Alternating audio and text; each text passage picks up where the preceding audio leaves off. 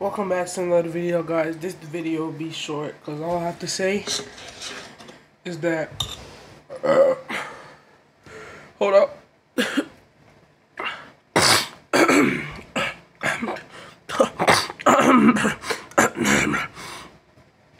that my next part to becoming a pro will be hitting Unreal, which shouldn't really be that hard because I'm elite already.